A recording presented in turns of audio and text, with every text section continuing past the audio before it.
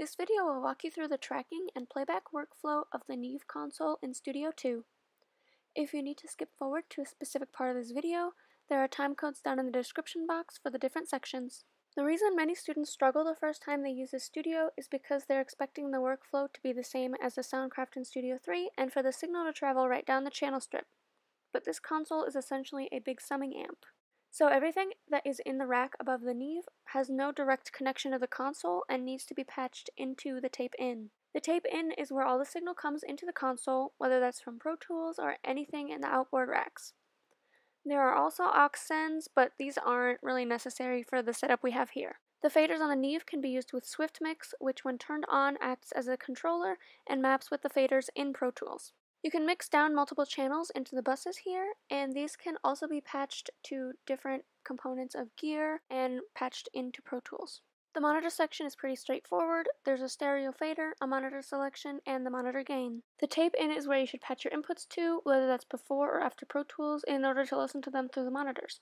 Make sure that the tape button is engaged, and you can adjust the gain if necessary. You need to designate a destination for your channels. That can be the stereo bus or any of the eight buses with multiple destinations allowed. The middle section consists of your bus faders and monitoring. When using the buses, make sure you have designated which stereo channel to send it to and to set the panning. These can also be soloed or muted. You can choose between any of the three monitoring options in the studio, a is for the M and Ks, B for the NS10s, and C is for the headphone amp. You can listen to your mix in mono as well as stereo.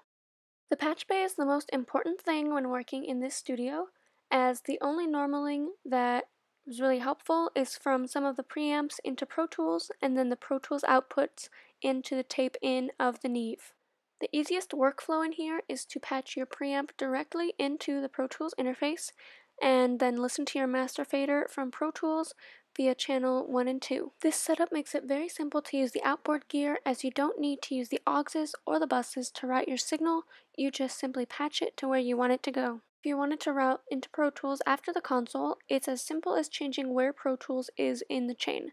Instead, you would patch from your preamp to the tape in, or the preamp to an EQ or compressor, then to the tape in, and then you would patch the outputs of the Neve either the stereo out or the individual channels into Pro Tools.